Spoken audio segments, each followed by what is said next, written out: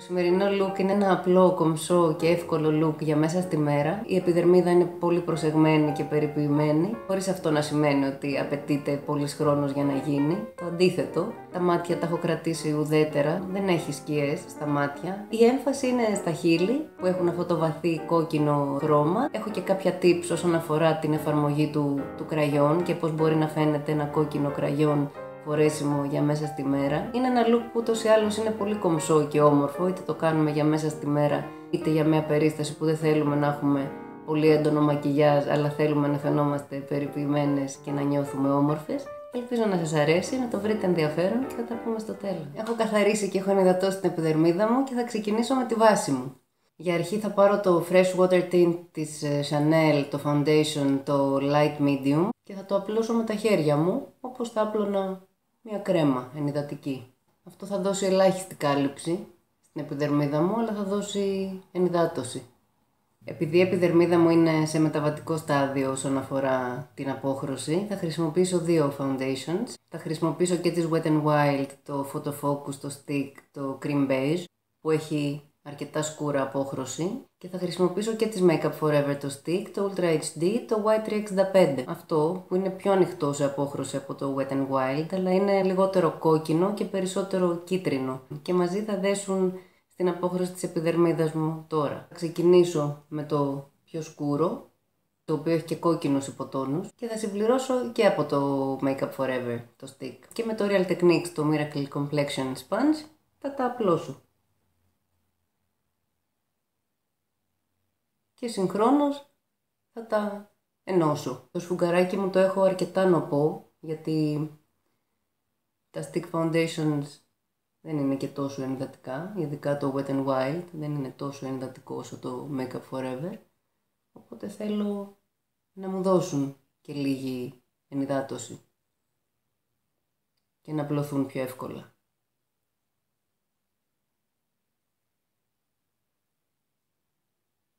Είναι τόσο απλό, απλώθηκαν.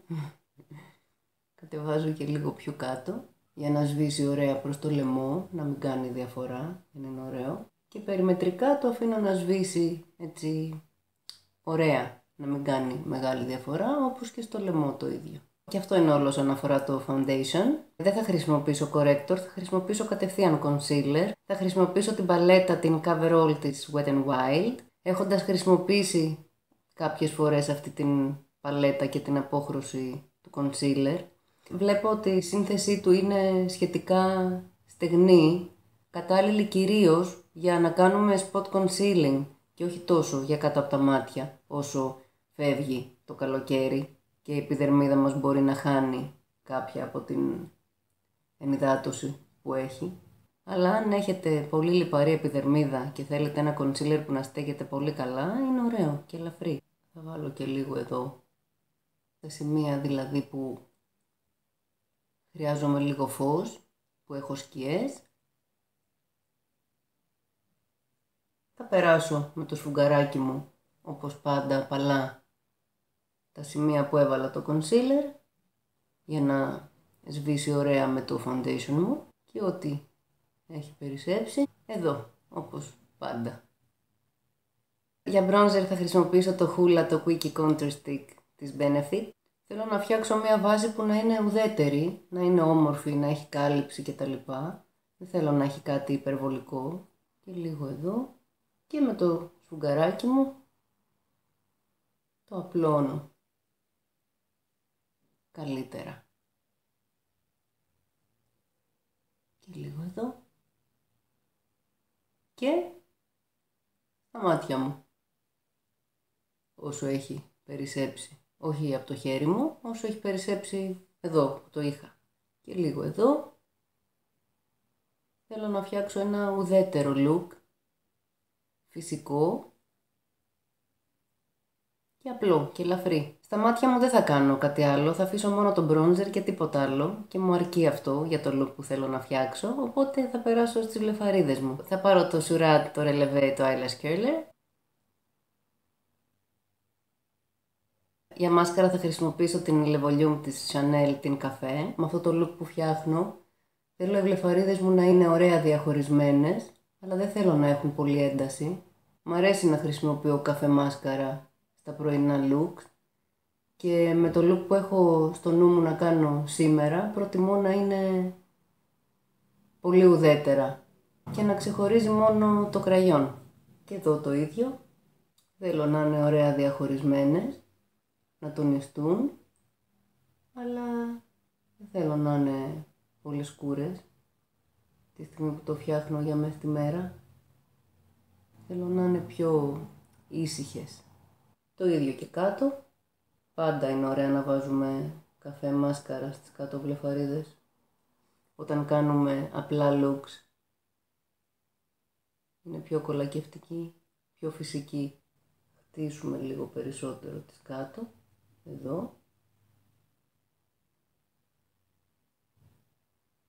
Και αυτό είναι με τις βλεφαρίδες. Lucas Pop Ointment με aloe vera για να βγάλω το foundation από τα χείλη μου και να τα ενυδατώσω λίγο.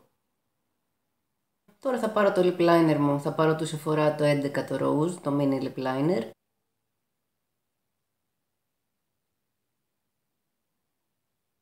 Αυτό έχει μια ελαφριά ουδέτερη, παθιά ροζ απόχρωση, όμορφη.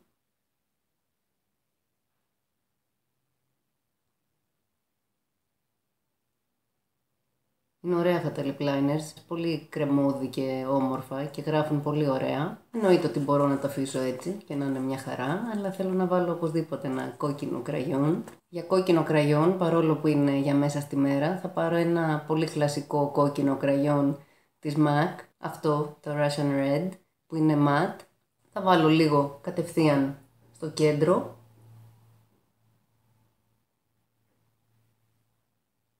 εδώ πολύ λίγο, ίσα ίσα δηλαδή να δώσει χρώμα στα χείλη μου και με το χέρι μου θα το απλώσω.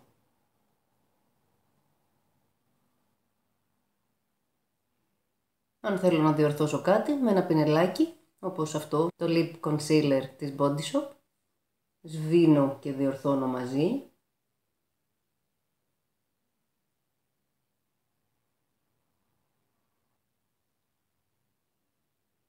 Μπορώ τώρα λοιπόν να πάρω στο δάχτυλό μου λίγο ακόμα. Εδώ να βάλω στο κέντρο. Και αυτός είναι ένας ωραίος και ασφαλής τρόπος να βάλουμε κόκκινο κραγιόν μέσα στη μέρα και με το ροζ περίγραμμα που βοηθάει να έχουμε και την ένταση του κόκκινου αλλά και να μην φαίνεται και πάρα πολύ έντονο αν δεν θέλουμε. Τώρα που έχει μπει το κραγιόν καταλαβαίνω ότι χρειάζομαι ρούζ. Θα πάρω όσο έχει μείνει στο χέρι μου από το κραγιόν μου θα βάλω λίγο εδώ. Θα το σβήσω. Δεν θέλω να έχω πολύ ρούζ, ούτως ή άλλο. Αυτό είναι υπέρ αρκετό. Αυτός είναι και ένας ασφαλής τρόπος να δένει πάντα το χρώμα του κραγιόν με το χρώμα του ρούζ. Εδώ λίγο. Μπορώ να βάλω και λίγο εδώ.